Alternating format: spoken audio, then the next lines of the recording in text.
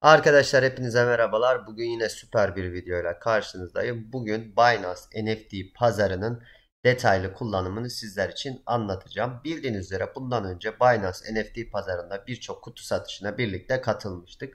Ama Binance'ın NFT pazarında e, detaylı filtreleme seçenekleri yoktu. Şu an artık detaylı filtreleme, filtreleme seçeneklerinin gelmesiyle birlikte Binance NFT pazarı da artık çok işlevsel bir şekilde kullanılıyor. Bilmeyenler için yavaş bir şekilde anlaşılır bir şekilde tüm detaylarıyla birlikte e, Binance NFT pazarının kullanımını, püf noktalarının tamamını anlatmış olacağız. Şimdi ilk önce buraya sizler için sorular hazırladım. Binance NFT pazarına nasıl üye oluruz? Arkadaşlar Binance NFT pazarına aslında Binance hesabınızla giriş yapıyorsunuz. Dolayısıyla Binance hesabınız varsa e, aynı bilgileri girerek direkt olarak Binance NFT pazarına giriş yapmanız mümkün. Ayrı bir üyelik açmak mümkün değil. Tek seçeneğiniz Binance NFT pazarına Binance hesabınızla giriş yapmak. Nasıl satın alma işlemi yapılır? Şimdi bundan bahsetmeden önce arkadaşlar buradaki bakiye Binance hesabımızla giriş yaptığımız için Binance bakiyemizi kullanıyor arkadaşlar.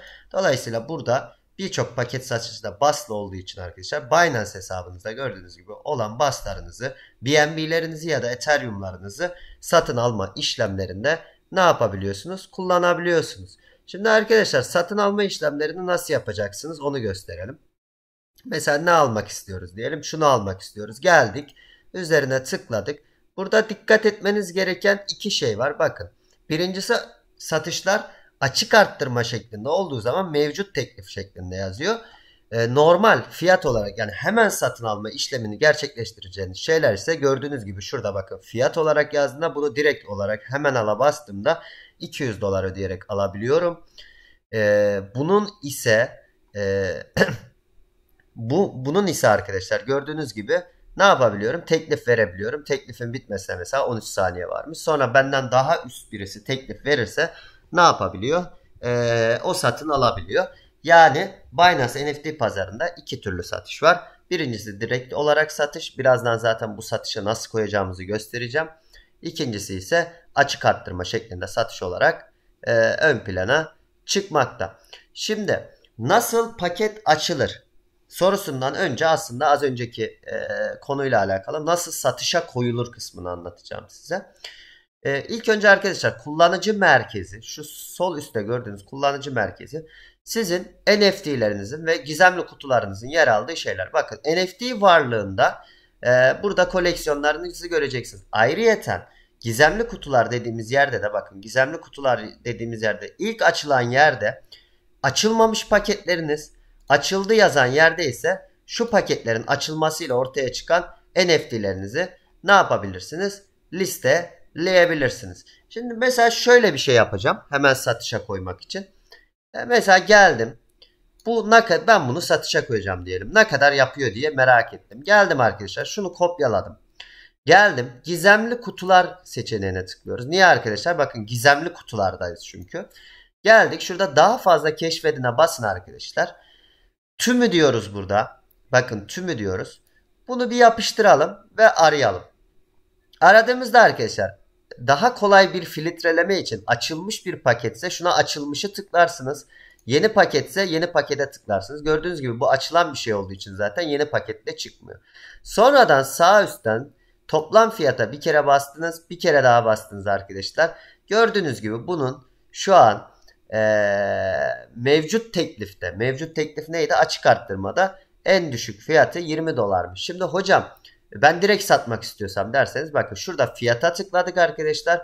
Şu an bunun marketteki en düşük fiyatı ne kadarmış arkadaşlar? 55 dolarmış. Diyelim ki siz de satmak istiyorsunuz. Geldik. Bakın NFT'yi listeleye bastık. Gördüğünüz gibi az önce ne yaptık? Teklifi gördük. Fiyat belirle kısmını basarsanız ve 55 yazarsanız arkadaşlar bunu direkt olarak satma işlevini gerçekleştirmiş olursunuz. Yani gelir birisi 55 bastı verirse şuradan bakın isterseniz Ethereum ya da BNB de yapabiliyorsunuz. 55 bastı verirse direkt olarak satın alır.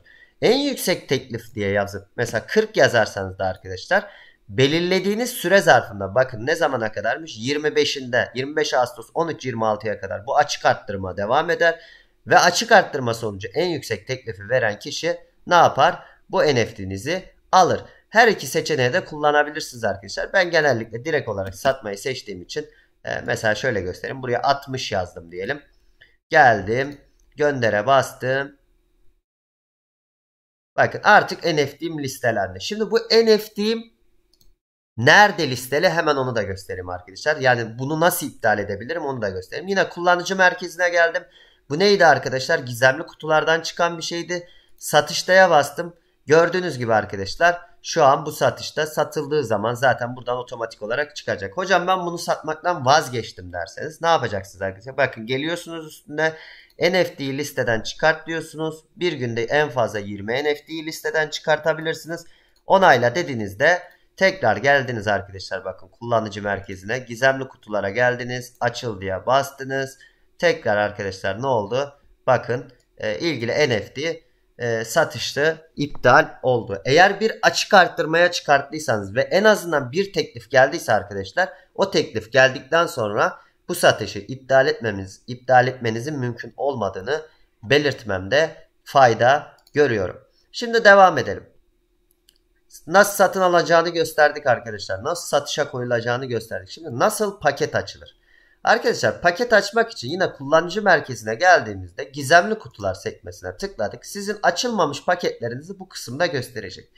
Üzerine basıyoruz arkadaşlar paketi bakın. Şuraya basmıyoruz. Buna neydi? Bu satışa koymaydı. Şuraya bastık. Geldik. Açmak için tıklayın seçeneğe geldi. Tıkladık. Bakın burada kaç adet açacağınızı söylüyor. Böyle yaparsam mesela aç dersem 4 tane açar. Size göstermek açısından bir tane e, kutuyu açacağım. Açtım arkadaşlar. Geldim. Bakın ne çıktı arkadaşlar? Şöyle bir şey çıktı. Bunun değerine de nasıl bakıyorduk? Geliyorduk şimdi. Gizemli kutulara geldik. Bakalım şimdi ne kadarlık bir şey çıktı. Daha fazla keşfet dedik. Bu neydi arkadaşlar? Tümünü seçtik. Bak bu açılmış bir şey.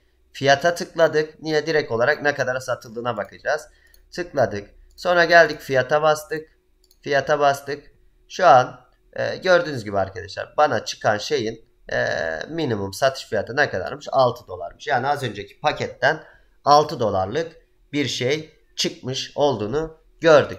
Mesela burada zarar ettim. Niye arkadaşlar zarar ettim? Şimdi gelelim kutuya bakalım. Gizemli kutulara geldik. Bakın kutunun ismi buydu. Geldim. Tümünü seçtim. Yeni paketi seçtim arkadaşlar bu sefer. Tümünü de seçebilirsiniz bu arada. Zaten çıkacaktır. Yapıştır dedim. Ara dedim. Ee, şöyle yeni paket seçelim.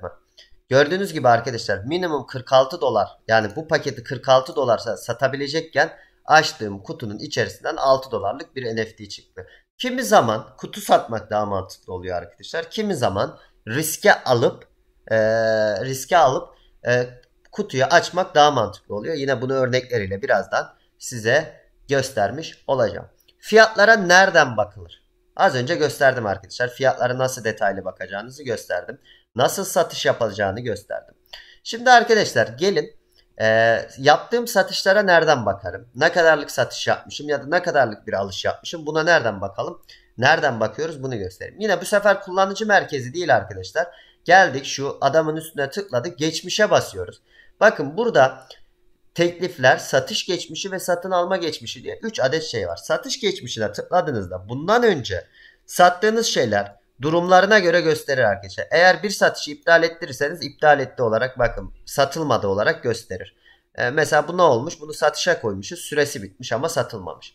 Gördüğünüz gibi e, burada ne kadara sattığımı gösteriyor. Size bir şey göstereceğim şimdi.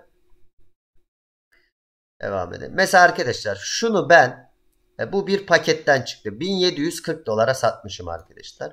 İşte bazen bu yüzden paket açmak mantıklı. Ne olabiliyor arkadaşlar? Olabiliyor. E, bakın mesela şunu 262 buçuğa satmışım. Şunu 650 dolara satmışım. E, işte bunu 750 dolara satmışım. Bakın arkadaşlar şunu e, 2160 dolara satmışım. Şu an bakacağım hatta e, değerine kadar. 2160 dolara sattığım şeyin e, şu anki değerine bakalım. Gelelim. Tümünü seçtim. Yapıştırdım. Ara dedim.